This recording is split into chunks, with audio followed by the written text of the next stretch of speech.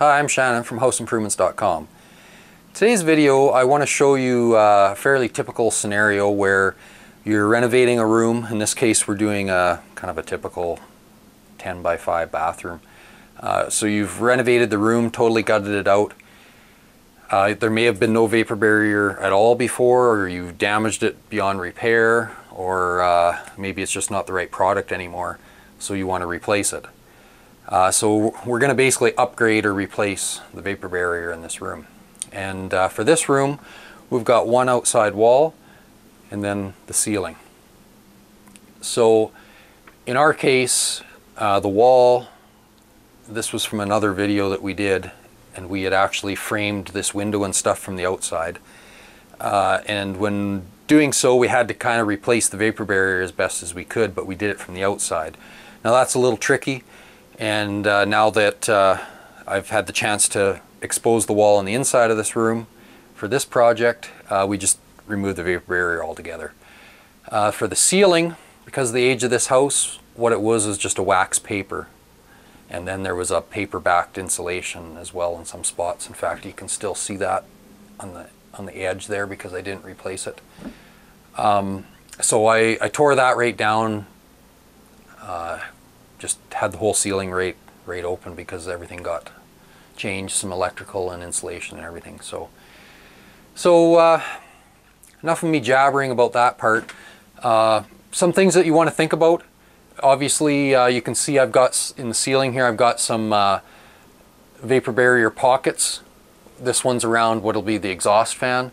These two are around an area where there'll be lighting put in. Okay, so I've I basically built a little pocket there so the vapor barrier will be continuous once uh, it gets all sealed up. As well as down here in the uh, shower tub area there's going to be a wall niche put into the wall here. So before the unit goes in I've ran the vapor barrier in, in behind that little pocket to uh, be sure that uh, that all works. And yeah, somebody's going to ask, well what about insulation value right here at the back of the niche?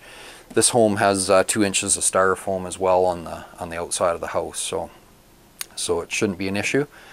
Uh, so get your poly bags all kind of in place and also it's a good chance to look around at any gaps and cracks like you see there was some up here and uh, you know noticeable draft coming in so I sealed those all up as best as I could with uh, some spray foam too just to kind of stop the draft more than anything. The vapor barrier will contain it but it's nice to stop it from coming in altogether. So I just kind of went in. You can, if it's cold out or whatever, you can actually feel those spots pretty easily with your hand. So it's easy to find where you need to give some extra attention. Now with the with the poly, because we're inside of another room and we don't have an existing poly that's sticking, you know, behind these where these interior walls butt into the exterior, we're going to put our new vapor barrier across the face of the wall and also around the corner onto these framing members and the same thing on the ceiling. So it'll come across the ceiling and down here two or three inches. Now my vapor barrier is oversized right now, but it will get trimmed up. And uh, the reason you want it to be able to go onto the walls is that's where I'm going to seal it with the acoustical caulk. Instead of trying to seal it here with acoustical, uh, you're kind of defeating your purpose because if I seal here, this gap all the way around here will let some air in to this room. So if I move my acoustical caulking bead down to these areas, that uh, seals up, contains all that draft still up in the attic area or the wall space, the cold zone. So, so uh, that's why I'll bring it down when I actually do the sealing or do the yeah the acoustical seal. Uh, I'm just trying to explain as much stuff as I can right now just so you kind of know what's going on as we go. So I've rough cut my, uh, my vapor barrier, a little oversized to the room. Now be sure that you're using the proper product for your area. Uh, basically anywhere that I know of, vapor barrier products have to be stamped and approved to be used as a vapor barrier. You can't just use any random poly. It, it needs to be an approved sub, substance or uh, approved product. So, so I've cut it roughly to size and I've also uh, measured out uh, my ceiling's about eight feet here and I measured about eight foot three and I put some marks. Some marks here because I'm going to do the wall and the ceiling all in one piece. So this just gives me a reference to where that corner is there because that's where I'm going to start to hang it to get going so it's going to be really hard to see what I do because of the small room and uh, tight spaces initially to start. But basically what I'm going to do is get inside of this poly and I'm going to have the ceiling um, length of the poly draped back over my head and it'll of course hang down to the floor hence why you're not going to see but what I'm what I'm doing inside of there is I'm taking my I'm going to take my marks here up to that corner and get some staples started. So the poly's basically uh, hanging and that's a place to start. Then I'm going to work my way out across the room along the rafters, putting staples and stretching the poly out as straight as I can with uh, hopefully not too many wrinkles in it.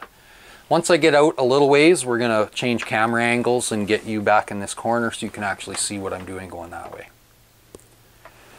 Uh, so, really doesn't matter on the type of stapler you use. I'm using hammer tacker type stapler. So, uh, you know, about quarter inch staples, 3 8 staples, that'll be plenty. And I've just got that in my pocket. I've got a knife for any cutting I might have to do. Use a really good uh, sharp new blade if you can. It'll really help you out. Um, yeah, that's about it. So I'm going to get myself inside of this plastic and get myself arranged and get it tacked up there and started and then work my way across the room.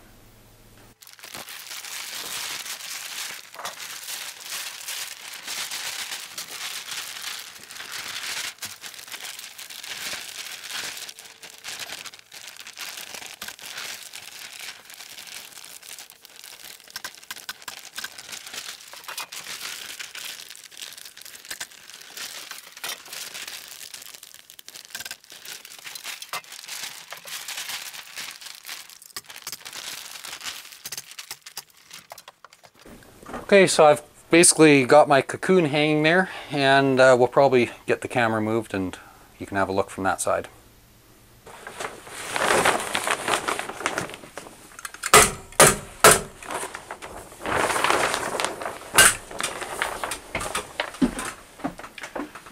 So you can see I'm trying to keep it as wrinkle free as possible but you know the more things like these vapor bags I've got hanging down the more stuff you got in there the more places for it not to lay flat. So, um, just thinking here, there's something I thought of I was going to tell you. Oh, in these corners, I'll, I'll go to this side. In these, in a corner like this, you want to make sure that you've got enough poly there that it, you know, it isn't spanning across like if this was is already pulled tight. When you go to drywall that, that could cause you some problems. So make sure there's enough there that it'll go right back into the corner. So and that's a little, kind of a little tricky until you get used to doing it to get it figured out, but just something to think about so you don't end up with a real tight corner and uh, have to, um, you know, cut it and patch it or something.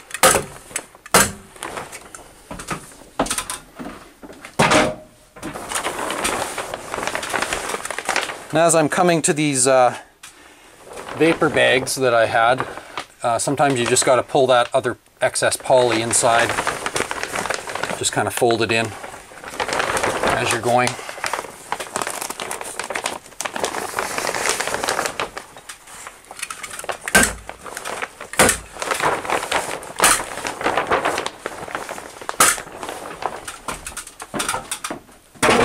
just keep working your way across the room.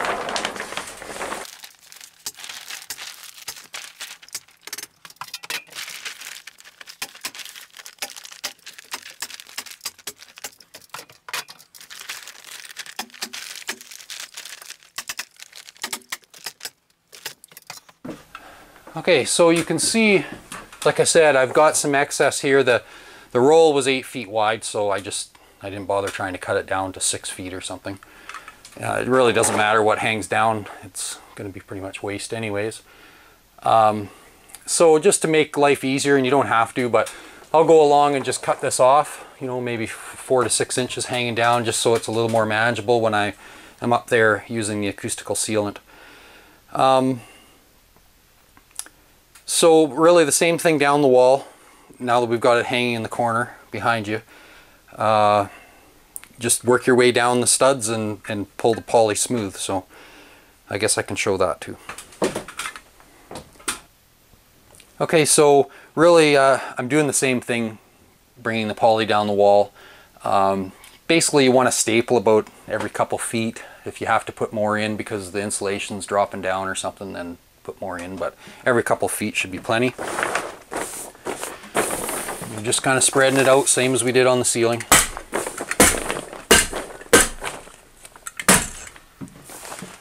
Now I had mentioned before where we're putting the acoustical sealant here and up at the top. So I don't want to staple this flap right at that spot because otherwise I got to rip it off to do the acoustical. So I'm always stapling far enough back that I can pull this out, excuse me, pull this out of the way and uh, put some acoustical on there. So anyways, we'll just uh, finish stapling this off and then I'll show you some acoustical on the bottom and uh, one of the cutouts.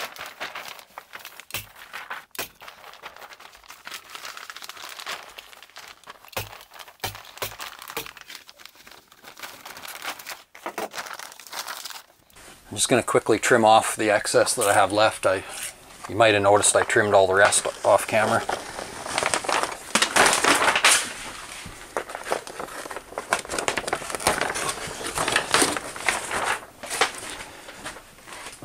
Okay, so for the acoustical, and you can watch our other video, we have another video, uh, I believe I'm doing a basement uh, vapor barrier.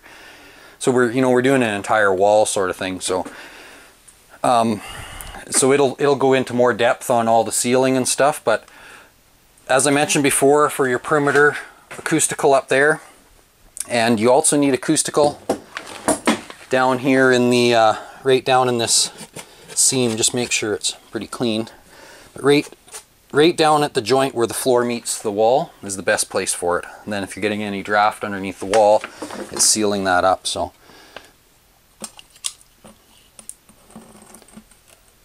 And this stuff has no mercy. It'll get on you. As careful as you're trying to be, you're going to get some on you. Uh, if it's your first time using acoustical caulking, just uh, be very wary. Uh, whenever I'm done using the tube for a few minutes, I always stick it over somewhere out of the way, in a wall cavity or someplace like that where I'm not going to get any on me because it tends to ooze out a little bit, some brands. And yes, I know if you push this little button, it takes the pressure off, but it doesn't always work for all caulking. So if you get the tube too pressurized up. So get your acoustical in there. Just force the uh, poly right down into the corner of it.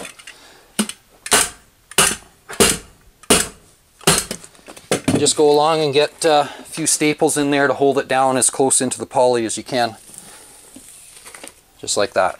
Okay, and it really is the same all the way along there. Now for, uh, we'll just do this opening since I'm right here. For something like this, I generally will use uh, the tape. So uh, depending where you are, uh, the blue tape is usually preferred for vapor barrier.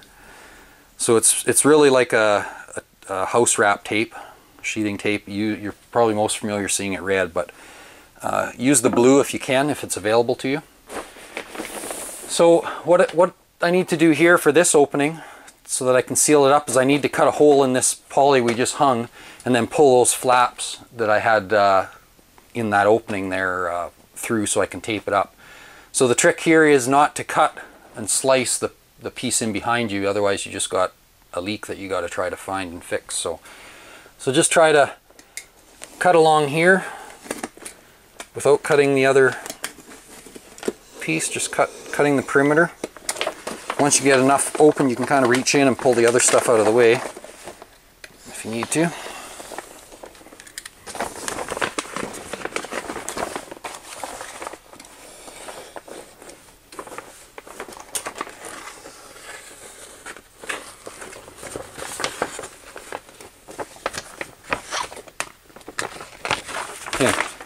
So we've got that out of the way.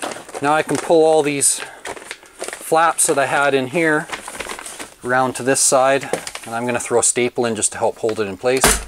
So I'm overlapped over the wall poly that we just hung. Depending what you're putting in these openings, you might need to make sure your corners are not too jammed up with excess poly. In my case, I've got a little bit of space that I don't have to worry about it quite as much, but I just try to fold it in there as flat as I can. And these staples are just to kind of hold it until I can get some tape on it, so it's just kind of held in place.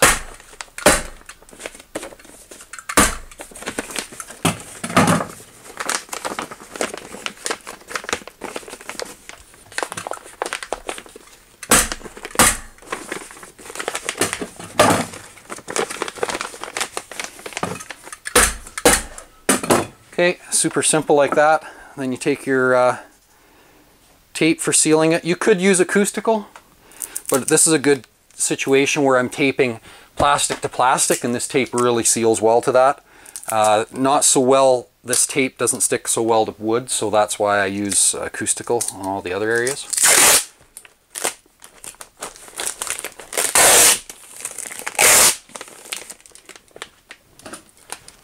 Just gonna trim this off so it's out of my way. Okay, so you just want to make a really good tight seal between those two pieces all the way around.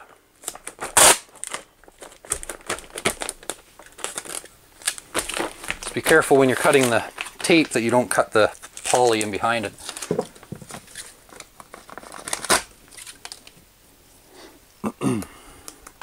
okay, so pretty self-explanatory, but you can see more of this type of thing around electrical boxes and that sort of thing in our other video as well.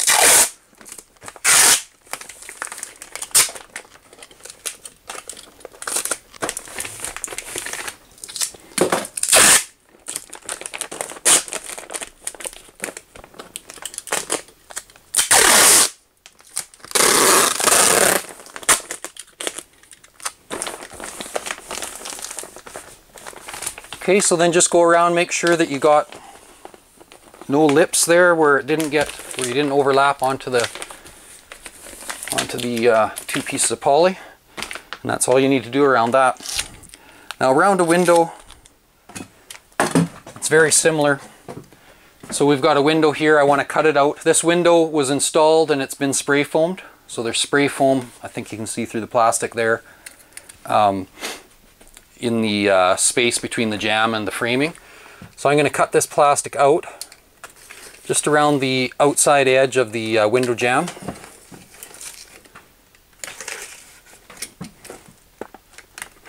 And this is super typical for any renovation you're doing where you're cutting around windows and uh,